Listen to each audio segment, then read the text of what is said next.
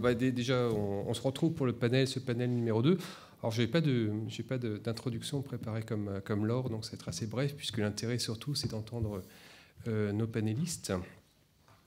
le premier panel était vraiment donc, très intéressant. Merci effectivement aux panélistes d'avoir échangé avec nous sur, sur ce sujet.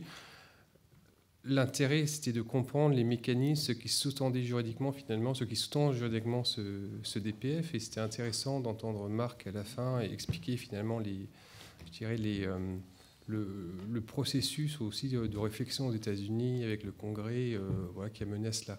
Maintenant, euh, l'idée de ce deuxième panel, ou plutôt l'objectif, c'est de comprendre comment en pratique, finalement, ce DPF fonctionne, vit, s'applique mais quels sont aussi euh, peut-être ses bénéfices, ses inconvénients et comment cela s'inscrit, peut-être dans un, environnement, euh, un contexte plus général de, souveraineté française euh, et européenne. Du coup, avec, avec moi à cette table, effectivement, quatre, quatre panélistes que je laisserai effectivement se présenter brièvement. Et je vais commencer avec le, panéliste à ma, à ma droite. effectivement, il y a Jean Sauce qui parle anglais, donc je vais l'introduire, ou en tout cas le lancer en, en, anglais. So, Ilya, thank you to be with us today. Um, as I was saying, now the, the objective of this panel, after hearing what the uh, DPF was about from a legal uh, point of view, it's how it works in practice. So you work for a company, commercial company. We heard that it was for, uh, for fostering transfer of data, commercial data between uh, Europe and US. So on your day-to-day -day basis, what the DPF about, how it works, the floor is yours. Thank you.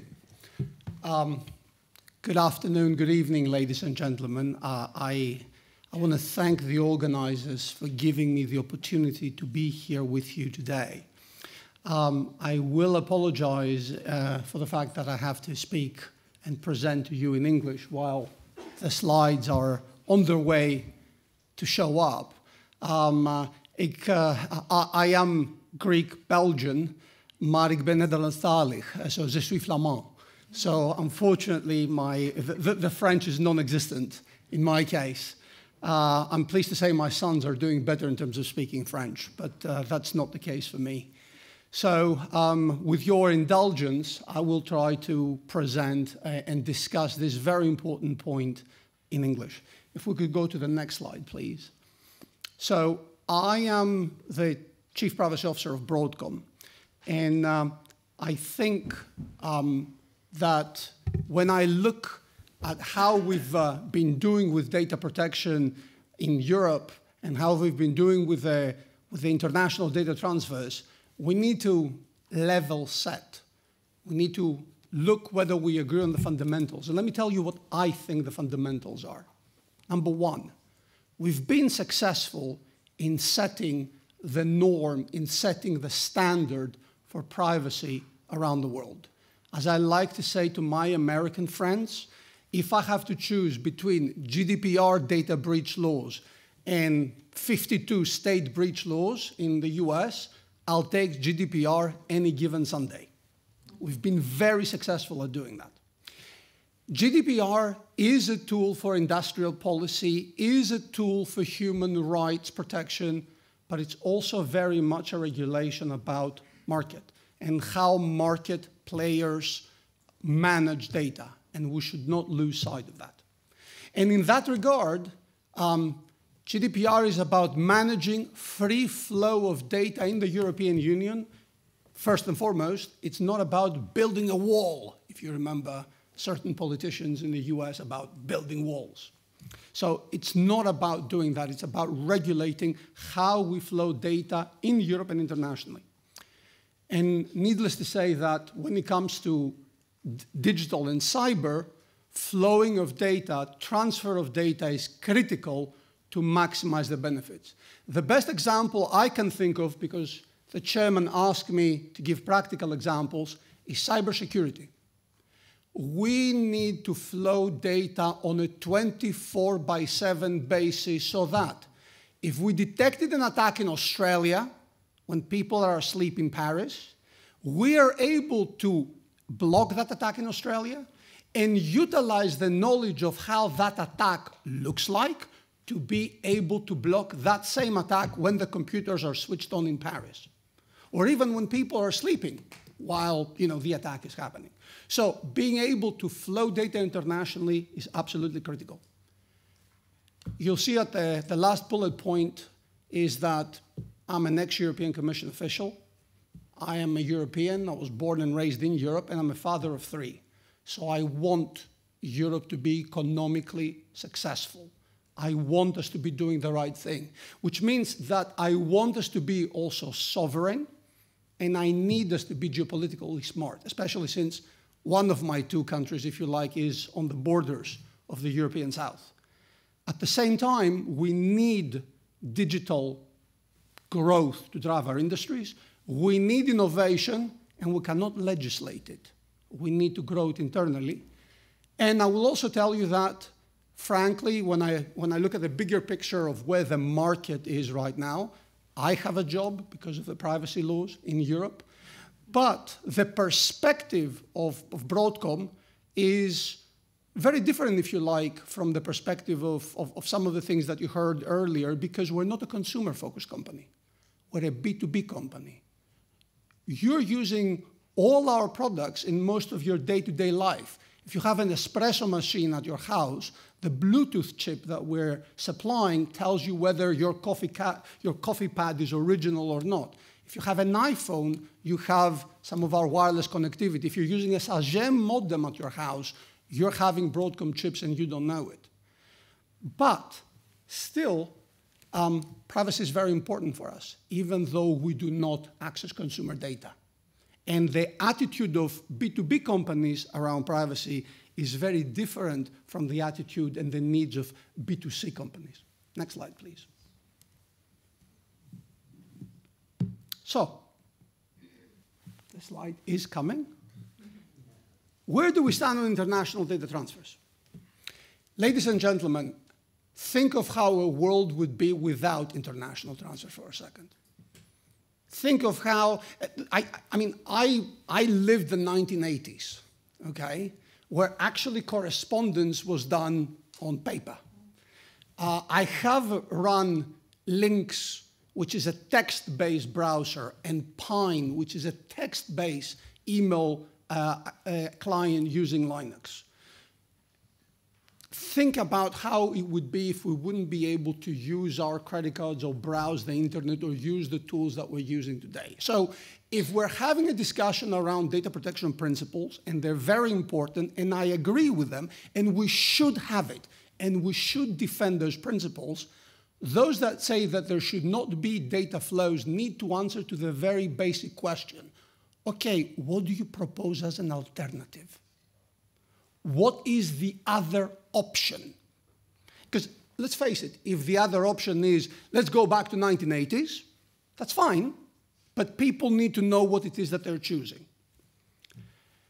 We, I, I promised I would say something about the, the data uh, privacy framework. Um, I will tell you very openly that my goal is, among the many other things, that uh, my Lord and Master, the Chief Legal Officer, tells me.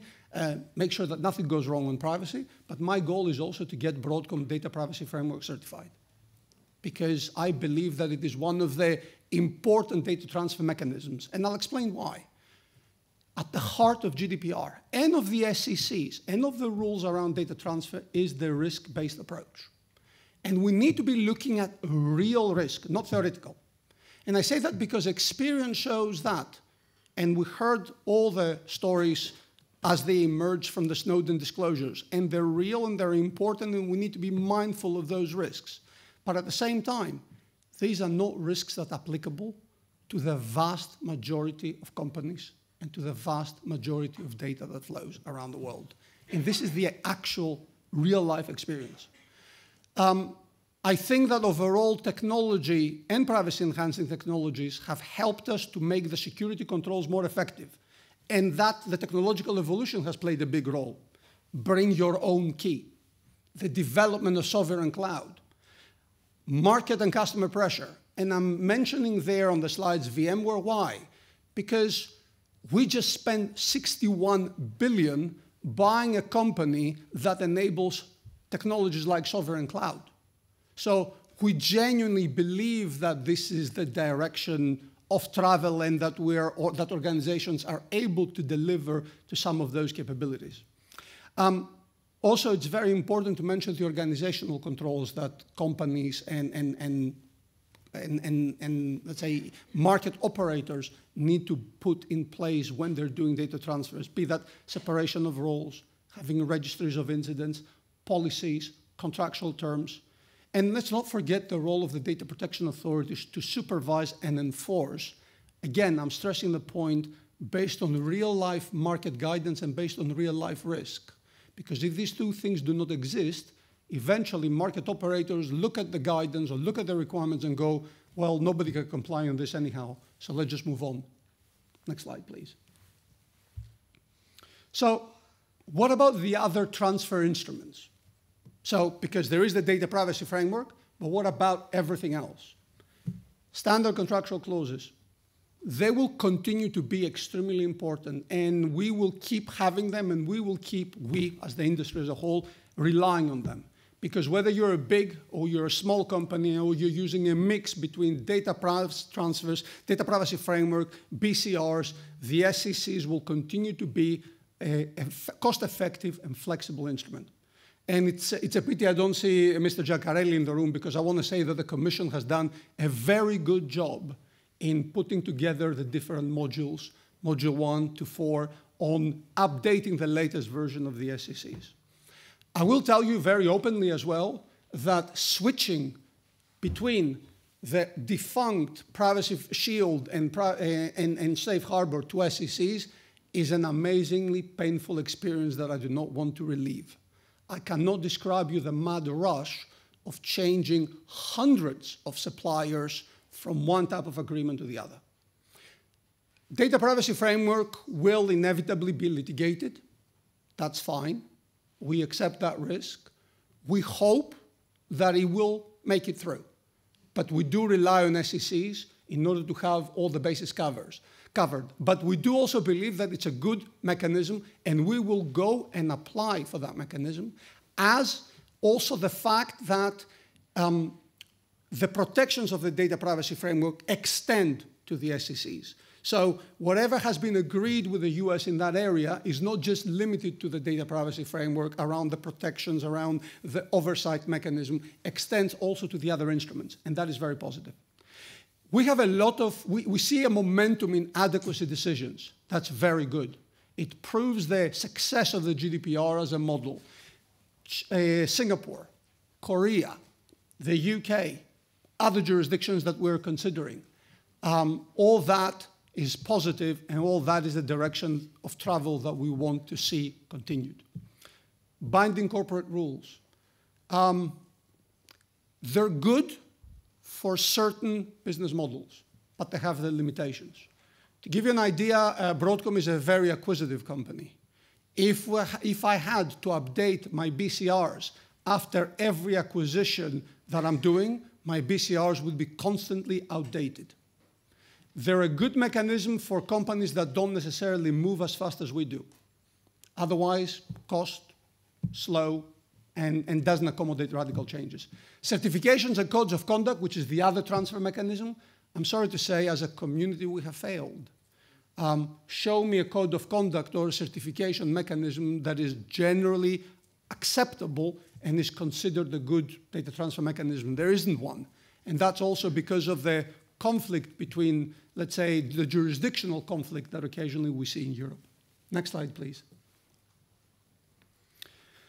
Um, I mentioned that uh, privacy law is often used or is being discussed to be used as an element of industrial policy.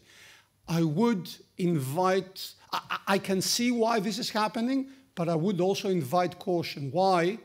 Others are seeing us doing this, they're learning from it, and they're getting ideas. And they will be using the same arguments that we're using, but this time they would be using them against us and to disadvantage us. And I'm not suggesting that the United States is doing that, but there are other players around the world which will take advantage of a, the same angle that we're taking. But I would like to bring up also a couple of other points because we talk about competitiveness and innovation and using data. All advanced jurisdictions when that have privacy law also have exceptions around product improvement. All of them have exceptions around the fact that companies should be able to utilize data to become more competitive. We have legitimate interest as that equivalent provision in GDPR. The problem is we interpret it so narrowly that in practice it's very, very difficult to do that. Think about this, that the Commission had to produce a legislation called Data Act and the Data Governance Act to address the fact that we don't share, we Europeans don't share enough data with each other. So we had to do legislation on top of the existing legislation, silently amending GDPR to try to fix that problem. I say try because we don't know if it works yet. Um, there is a lot of discussion around trying to limit data transfers on the basis of sovereignty.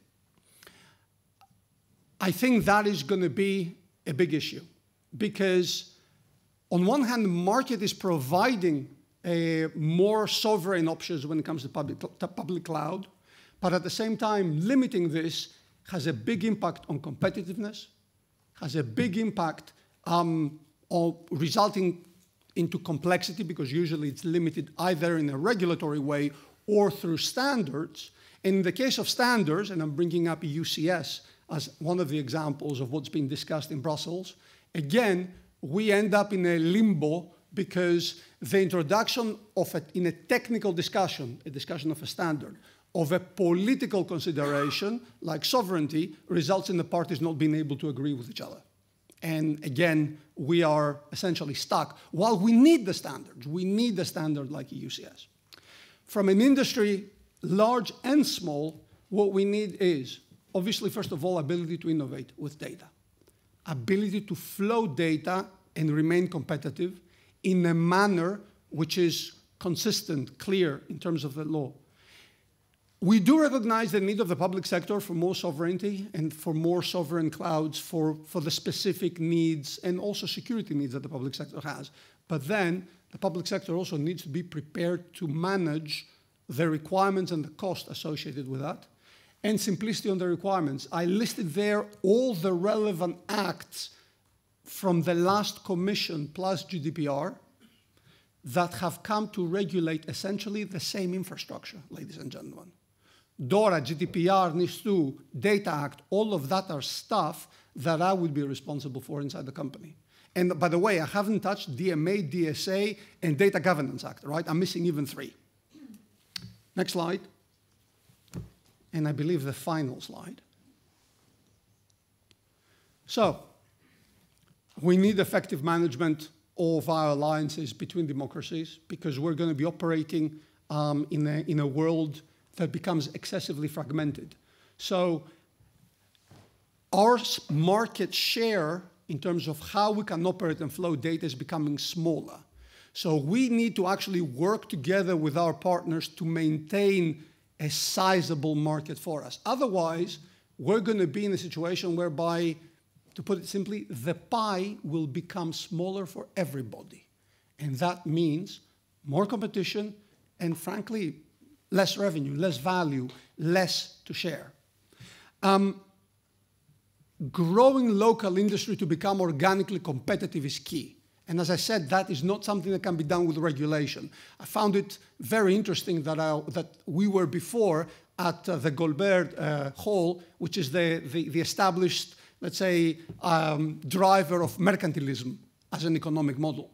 It's, it's, that, was, that was very telling. But at the same, interesting coincidence, but at the same time, when you look at this from a different point of view, you know, we need to subsidize those that need to grow, not those that are not doing well, but just happen to be very, very big. Um, we need to be open, but not be foolish, be reciprocal. We I stress the point about access to data. We talk about driving artificial intelligence. We cannot drive artificial intelligence without having a suitable data training set. We need common standards, and we need a truly single market. And that's a big issue. Um, I was speaking to a member state representative yesterday, and we were discussing about the policies that they were putting in place on incident response and the fact that certain markets in Europe were closed to them on grounds of language. They didn't want to try to do incident response in English. It had to be on the local language. So we should leverage the size of the European market. Uncompromising protection of EU human values and, uh, frankly, effective implementation of the national security requirements that we had a very hot debate previously. We have all the fundamentals we need to be successful. We have the capital, we have the education, we have the skills, we have the talent. We need to get this policy right. Thank you very much and happy to take any questions. Thank you. Maybe, um, thank you, thank you, Elias. Du coup, est-ce que, alors je me tourne vers la salle, est-ce que, euh, est-ce que quelqu'un aurait une question pour, euh, pour nos panélistes, que ce soit du panel 1 ou du panel 2 ah, Oui Je ne sais pas s'il y a un micro. Ou, Uh, good afternoon. I will uh, give a question in English. My French is not so good, uh, so my apologies. Uh, one observation and one uh, out outlandish suggestion to solve the problem. Uh, my observation is what Ilias was saying, all the GDPR so far has helped the companies, not the consumers. If I look at Google, just an example, $90 billion 2016 revenues, $300 billion 2023 revenues, 30% Europe, almost 300 billion delivered from Europe on, on search. So I think uh, the European consumer is not getting the right deal.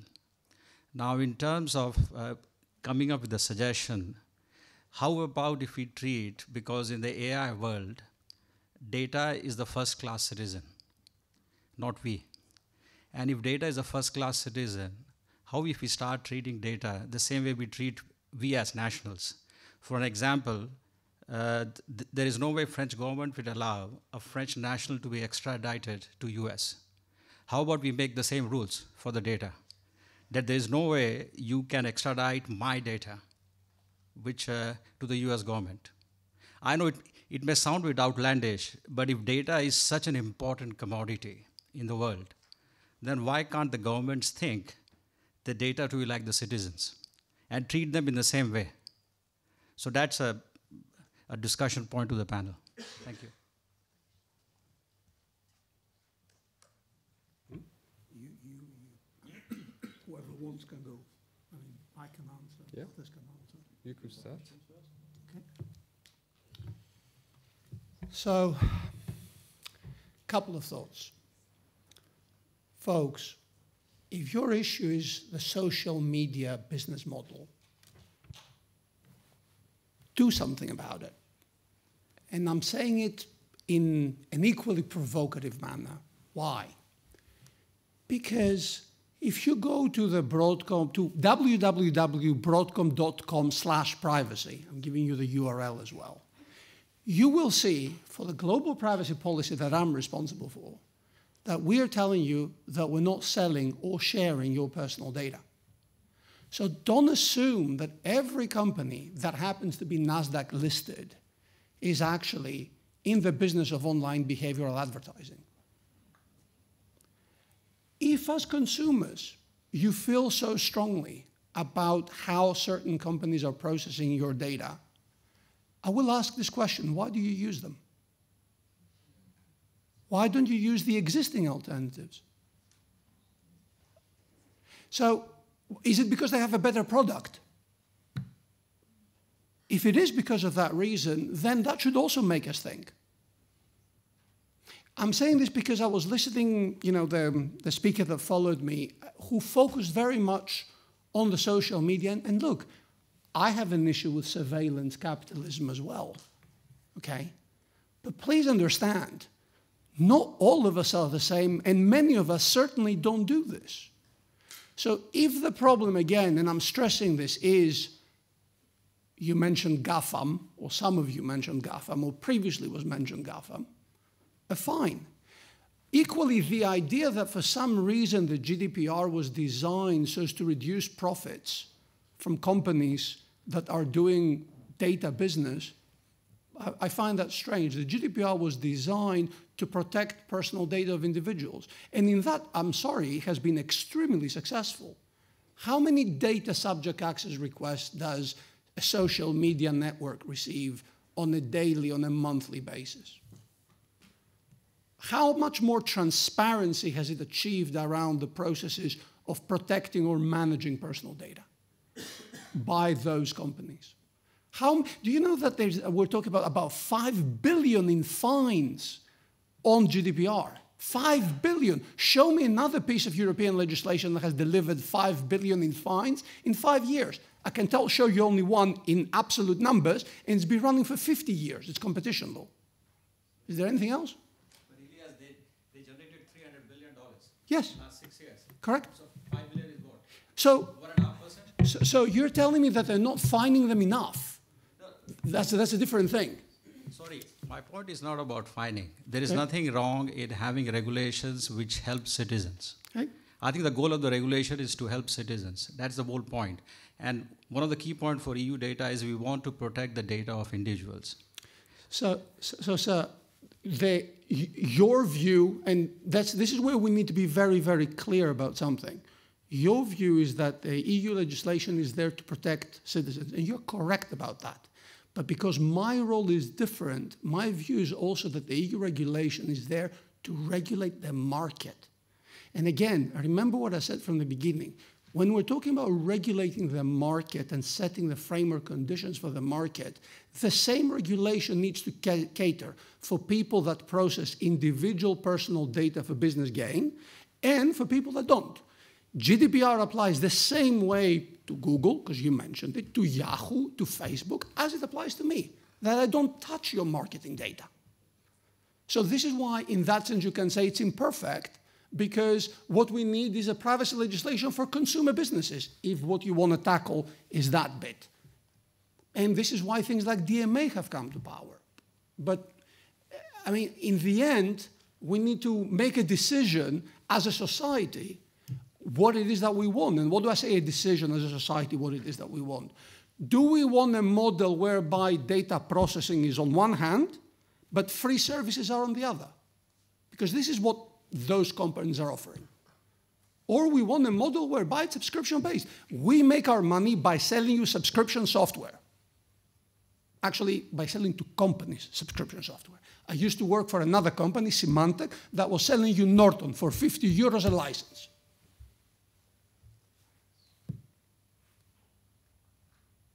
And again, I don't want to defend them, okay? But just to be clear of where we are.